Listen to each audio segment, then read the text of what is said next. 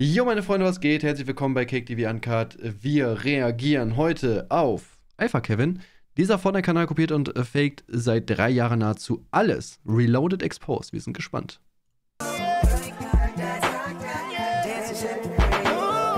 Huch, mein Video war kurz davor gesperrt zu werden. Aber keine Sorge, Leute, denn das Video wird trotzdem noch ehrenlos, denn ich zeige heute Reloadeds wahres Gesicht. Weil ich leake ihn.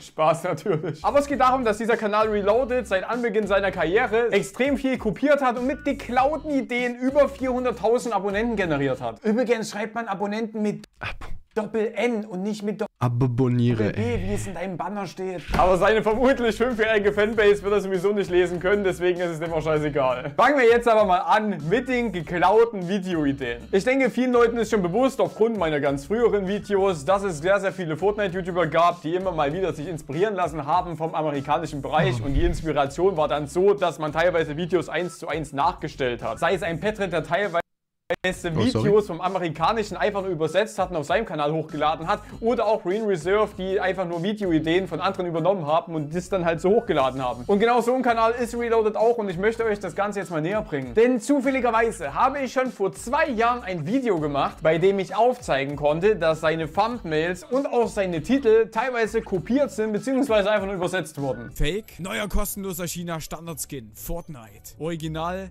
How to get China Default, Skin for free. Der auch gleiche Thumbnail, ne? In Season 8 Fortnite Battle Royale. China Default Skin. Jetzt wieder der Fake von dem lieben Reloaded. Alle Stufen vom Re-Skin freischalten. Fortnite. Das Original. How to unlock Re-Skin.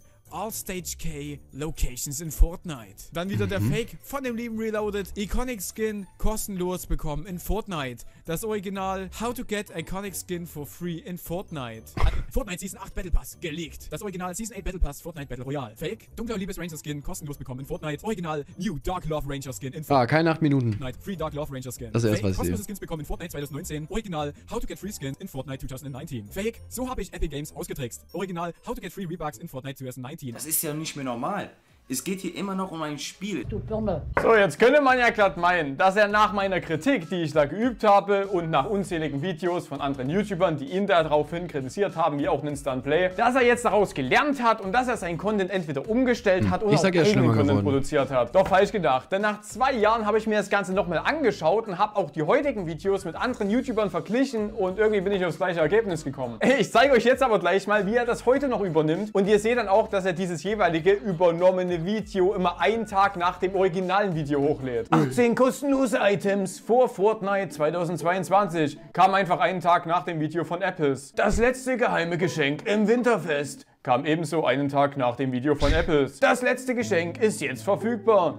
Kam wieder einen Tag nach dem Video von Apples. Und 1000 V-Bucks Geschenk ist jetzt verfügbar. Das kam aber diesmal einen Tag nach dem Video von Friendly Machine. Und wenn man jetzt genau Na, hingeschaut hat, dann hat man erkannt, dass nicht nur die Titel fast genau übernommen wurden, sondern auch die Thumbnails. Das einzige, was aber Reloaded darin ändert, das ist immerhin die Schrift. Denn dort klatscht er einfach die deutsche Schrift über die englische Schrift. Also da muss man wirklich einfach sagen, extrem innovativ, wirklich. Also du machst Ja, wenigstens einer, der sich auch wirklich Mühe gibt. Weißt du, der sagt, ey, komm, wir machen jetzt hier vernünftig. originalen Content. Und du bist wahrscheinlich auch der beste Hecht im Karpfenteich. Du Keck, Digga. Und wenn man jetzt genau hinschaut, dann sieht man, dass er das originale Thumbnail immer ganz leicht bearbeitet hat und dann als sein eigenes Thumbnail verkauft. Krasser Aufwand, muss man schon ehrlich sagen. Es gibt kaum YouTuber, die sich so wenig Mühe geben für ihren eigenen Content. Respekt auf jeden Fall. Damit ihr aber jetzt gleich erkennen könnt, wie gleich der Content mit anderen YouTubern ist, dem zeige ich mal, wie hart er eigentlich diese Videos übernimmt. Und ich meine, damals gab es ja schon so einen kleinen Skandal, als Petrit Videos eins zu eins übersetzt hat und das dann als sein eigenes Werk verkauft hat. Gibt's Petrit eigentlich noch? Hat er noch seinen komischen Minecraft-Kinderkanal?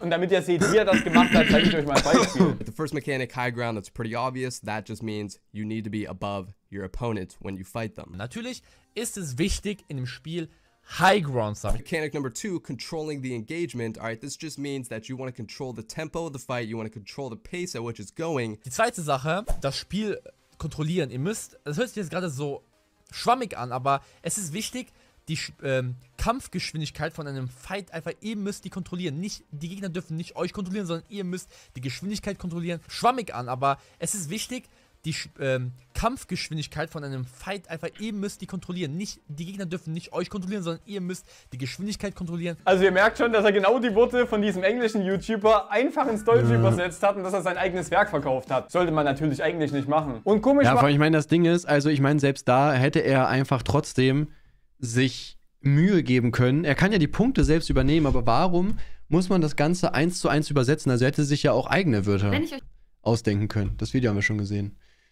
Check, ich check sowas nicht, Digga. halt Keine auch, Ahnung. dass er damals keine Credits an die originalen Content Creator gegeben hat und dadurch hat das Ganze dann die Runde gemacht und er wurde immer mehr und immer mehr hops genommen von dem einen oder anderen YouTuber. Und ratet jetzt einfach mal, wie das jetzt bei Reloaded aussieht. Richtig, es sieht einfach nicht anders aus. Es ist zwar nicht alles Wort für Wort genauso übersetzt, aber ich würde schon sagen, man erkennt da leichte Parallelen zu Petrits Videos. So the first reward we're going to be talking about are all of the brand new Spider-Man skins coming out very soon. Und auf Platz Nummer 15 meiner Liste habe ich brandneue Spider-Man-Skins. Starting off with Green Goblin, Miles Morales, we will be seeing a Mary Jane skin. Bald wird es noch mehr Spider-Man-Skins geben, wie zum Beispiel Green Goblin und Mary Jane. And we then have a brand new Seven skin called The Origin. He will be coming out very, very soon as he was actually Junge, seen in a brand new skin survey. Und als nächstes auf Platz Nummer 14 möchte ich euch einen neuen Skin der 7 zeigen. Schaut ihn euch im Hintergrund gerne mal an. Irgendwie erinnert er mich ein bisschen an das Fundament. Next one are going to be all of the Foundation rewards. Als nächstes möchte ich über die Fundamentbelohnungen sprechen. For our next three rewards are going to be the brand new Crew Pack rewards. Platz Nummer 12 habe ich die neuen Crewpack-Belohnungen. We then have all of the brand new FNCS rewards. Auf Platz Nummer 10 habe ich die neuen FNCS-Belohnungen. So make sure you guys are watching FNCS over on Twitch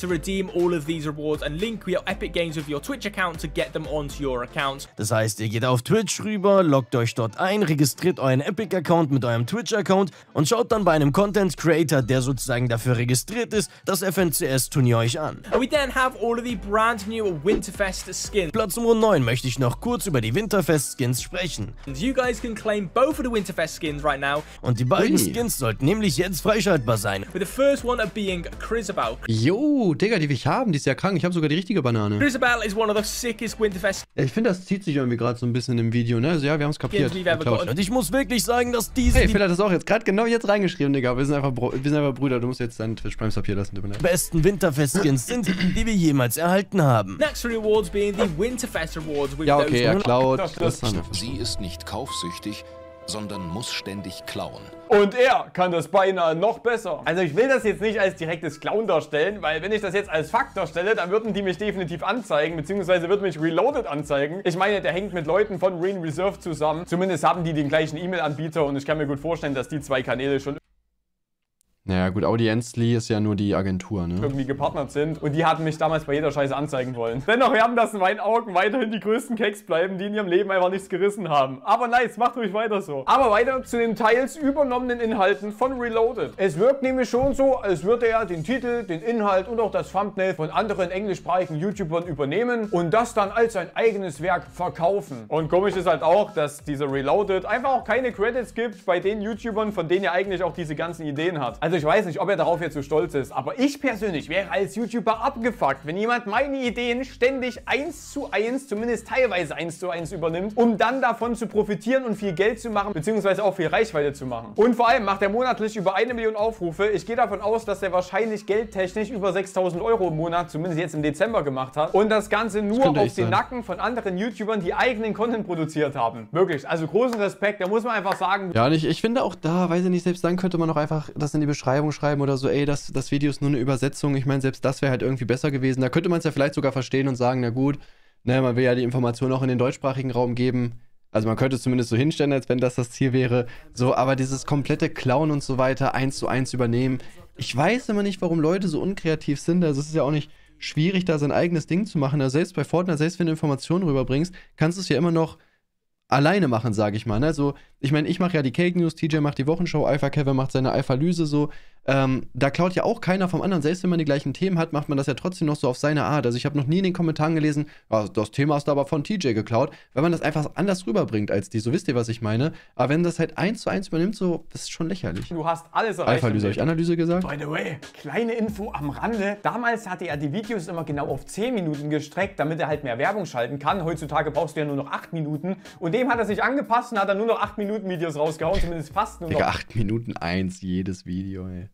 Der hat Spaß an den Videos. 8 Minuten Videos rausgehauen. Denn bei seinen letzten 24 Videos hat er allein 20 Videos, die fast exakt 8 Minuten gehen. Das musst du auch erstmal schaffen. Also das ist gar nicht gestreckt. Ich gehe davon aus, es ist alles mit Inhalt gefüllt. Also da merkt man schon vom Optischen, dass es ihm hierbei extrem um die Leidenschaft geht und gar nicht um Geld geht. Also das würde ich mir niemals anmaßen. Gehen wir jetzt aber mal weg vom Optischen und betrachten uns jetzt einfach mal seinen wunderbaren Inhalt. Denn der ist einfach atemberaubend. Auf einem ganz... Ja, TJ hat mir vorgeworfen, dass ich bei ihm kopiert habe beim Simon Desue Video richtig, aber ich meine so, dass die Zuschauer in die Kommentare geschrieben geschrieben haben, ey, das Thema ist aber von dem und dem. anderen Level. Passt auf. Bei Reloaded läuft das teilweise so ab, dass er einfach Videos macht, die voller Vermutungen sind und null faktisch sind. Im Titel stellt er aber trotzdem immer die ganzen Dinge als Fakt dar und verarscht dann sozusagen seine Zuschauer mit irreführendem Clickbait. Und dazu habe ich vor einem halben Jahr ebenfalls schon mal was gesagt. Übrigens könnte jetzt der Eindruck entstehen bei dieser Titelwahl, dass es ab sofort kostenlose Belohnungen bei Fortnite gibt. Doch ich muss euch leider enttäuschen. Falsch gedacht. Denn dieses Superhirn, das haut nämlich nur Spekulationen raus. Leute, lasst uns jetzt mal über die kostenlosen Belohnungen sprechen. Und anscheinend wird es bald einen Sommerglibber geben. Hype. Vor allem, wie er die Wörter betont. So richtig übertrieben. Hey Leute, bald gibt es kostenlose Skins in Fortnite. Bex konnte es herausfinden und ich denke, viele Spieler werden sich darüber freuen, denn der Glibber-Skin ist echt sehr beliebt in der Fortnite-Community. Wie der Sommerglibber aussehen wird, wissen wir leider noch nicht. Digga, was ist das für ein geiler Skin? Ich muss unbedingt mehr Fortnite spielen, Mann. Meine Güte. Ich werde euch jetzt einmal ein Konzept einblenden, wie er ungefähr aussehen wird. Versucht. Dankeschön nachzudenken. Nice, Bro. By the way sind diese Videos mit diesen kostenlosen Belohnungen auch ich oftmals kompletter Schwachsinn. Denn um kostenlose V-Bucks zu bekommen, muss man sich erstmal ein Bundle kaufen. Und was hat das bitte mit kostenlos zu tun, wenn du etwas bezahlen musst? Ja, aber man kriegt ja kostenlos dazu, hallo? Du V-Bucks bekommst. Wo ist das kostenlos, Bruder? Und nein, ich rede jetzt hier kein verwirrtes Zeug. Macht euch einfach ein eigenes Bild. Das Beste an diesem Bundle ist jedoch, dass es auch 1500 V-Bucks enthält. Die V-Bucks werdet ihr bekommen bekommen, indem ihr Herausforderungen des Bundles abschließt. Jawohl, ja! Geil, Mann! Das Bundle hat übrigens 12 Euro kostet, weshalb es nicht geschenkt oder gratis war. Lass uns jetzt aber mal über das V-Box-Geschenk sprechen. Und für dieses Geschenk benötigt ihr das Deep Freeze Bundle. Und der Trick hierbei ist, dass ihr das Deep Freeze Bundle ein zweites Mal im PlayStation Store kaufen müsst. Und dadurch bekommt ihr dann einfach 3000 V-Bucks. Ihr bekommt also 3000 V-Bucks für 10 Euro und das ist echt mega günstig. Also macht ihr 1500 V-Bucks Profit. Und das ist doch schon wirklich krass. Junge, ich bekomme gleich Aggression. Das ist wirklich krass. Also ihr müsst euch erst etwas kaufen, damit ihr 1500 V-Bucks gratis bekommt. Das ist doch schon ein Widerspruch in sich. Ja, du musst erst mal Geld ausgeben, um irgendwann. Und wenn du, wenn du dann noch äh, Sachen abschließen musst, dann musst du auch noch Missionen machen. Dann ist es ja immer noch nicht kostenlos. Also nicht nur, dass du Geld ausgeben musst, sondern du musst dann auch noch diese Mission abschließen. Das gratis zu bekommen, das ist doch Käse. Also das Ding ist, es ist halt faktisch nicht gratis, wenn du Geld dafür ausgeben musst. Ja, du machst 1500 Profit, aber du bekommst da nichts gratis. Und dazu hast du vor allem einfach dann zweimal so ein gleiches Bundle. Und was bringt dir bitte dann das zweite gleiche Bundle? Kann, mir, kann mich da jemand aufklären? Vielleicht weiß jemand von euch Bescheid. Also in meinen Augen ist das einfach nur Geldmacherei und hat nichts wirklich mit einer Belohnung zu tun, dass man jetzt 1500 V-Bucks geschenkt bekommt, so wie er das in seinen Titel sagt. Aber das Problem ist einfach, dass eine Kinder-Community vermutlich nicht checkt, dass es hierbei nur darum geht, dass die Geld ausgeben sollen. Und geil ist halt auch, dass er eine Minute darüber spricht, dass man 1500 V-Bucks gratis bekommt und erst bei Minute 6 das Video so richtig beginnt. Davor redet er halt die ganze Zeit sinnloses Zeug, was gar nichts mit dem Video zu tun hat. Also perfekt, toller Inhalt. Wirklich eine Minute Inhalt gebracht von einem 8-Minuten-Video. Muss man erstmal schaffen. Nachdem er Wie uns aber jetzt diese unfassbar wertvollen Tipps gegeben hat und mit seiner unfassbar gestellten männlichen Stimme nochmal gezeigt hat, wie toll denn Fortnite ist, ist er auch ein absoluter... Digga, einfach Kevin, bitte mach mit der Stimme ein Video, Mann. Das würde ich ja fühlen. Genau. Mashallah, wirklich ist mir gut aufgefallen. Denn er verschenkt einfach jeden Tag seinen Zuschauern einfach so irgendwelche Items aus dem Fortnite Item Shop. Jeden Tag verschenke ich übrigens richtig viele Skins an meine treuen Abonnenten. Und falls auch du beschenkt werden möchtest, dann abonniere meinen Kanal jetzt sofort und kommentiere deinen Epic Games Namen in die Kommentare. Du bist ja ein ganz witziger, hä? Wir reden danach, inshallah. Gut, er zeigt uns übrigens fast nie, dass er irgendwas verschenkt, aber wird schon so sein. Ne Quelle, vertrau mir, Bruder, wird schon bei ihm hinhauen. Also ich habe zumindest noch keinen gesehen, der Ey, hat er der Katze gerade an den Schwanz gefasst? jetzt wirklich irgendwie dort V-Bucks abgesahnt hat, beziehungsweise ein Item bekommen hat. Also vielleicht könnte er ja mal auflösen, wer mal was gewonnen hat. Aber vielleicht macht er das ja auch wirklich im Geheimen. Ich möchte ihm da jetzt nichts unterstellen und er ist vielleicht ein absoluter Ehrenmann. Habe ich eigentlich schon erwähnt, dass er mehrmals in seinen Videos betont, dass man doch seinen Creator-Code eingeben soll, damit er 10.000 Creator-Supporter hat? Nein? Dann wird es auf jeden Fall Zeit. Hier, damit ihr euch das auch mal antun müsst, hier ein Zusammenschnitt. Übrigens, Leute, ich bin kurz vor den 10.000 Supportern. Und sobald ich die 10.000 erreicht habe, werde ich meine Haare bunt färben. Wenn ihr das nicht verpasst, Man kennt ihn noch gar nicht, oder? Weiß man, wie dann aussieht? tragt einfach nur meinen Ah, man weiß, wie er aussieht anscheinend, oder was? Ach, nee.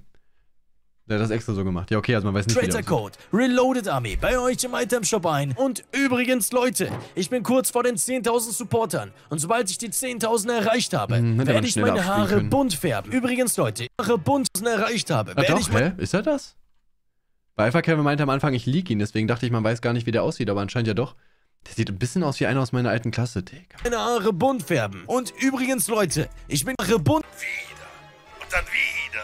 Und dann wieder. Übrigens, Leute, ich bin kurz vor den 10.000 Supportern. Und sobald Er hat übrigens seine Haare immer noch nicht bunt gefärbt. Ich will das nicht mehr, wirklich. Aber krass, wie lange er einfach kurz vor den 10.000 Creator-Supportern stand. Aber es macht halt keiner, das muss man wissen, so, ne? und es dann trotzdem wahrscheinlich nicht geschafft hat, weil dann hat er scheinbar irgendwann die Hoffnung aufgegeben. Aber wer weiß, vielleicht hat er ja jetzt auch geflunkert und wollte eigentlich bloß die Leute animieren, seinen Creator Supporter Code einzugeben.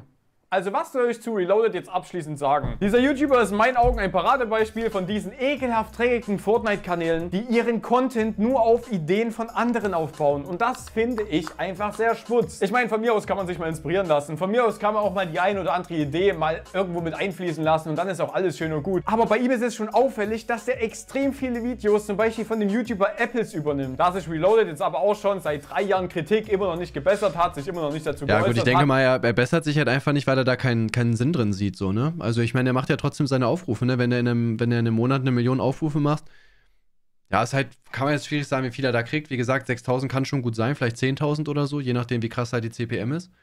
Und äh, das ist natürlich gutes Geld, so, ne? Das will man sich natürlich nicht durch die Lappen gehen lassen, so, ne? Also, ich verstehe es aber auch nicht, weil man könnte halt auch eigenen Content machen. Das würde wahrscheinlich halt auch mehr Personalität in, das, in den Kanal bringen und würde wahrscheinlich dafür sorgen, dass der halt dann besser läuft, auch früher oder später, ne? und kein bisschen abgeändert hat, denke ich mal, dass ihm das ja auch scheißegal sein wird. Schreibt mir aber gerne mal in die Kommentare, wie ihr zu Fortnite steht. Findet ihr Fortnite ist ein nices Spiel oder sagt ihr Fortnite ist Schmutz geworden oder sagt ihr Fortnite war schon immer Schmutz? Schreibt das gerne mal rein, würde mich mal interessieren. Und vor allem lasst auch gerne ein Abo da auf meinem zweiten Kanal Inkev. Dort kommt fast jeden Tag ein Reaction-Video online. Es lohnt sich definitiv. Der Kanal geht momentan richtig ab. Wir sind kurz vor den 20.000 Abos. Wäre nice, wenn da jeder noch mit drüber Ja, ich fand das Video an sich ganz gut.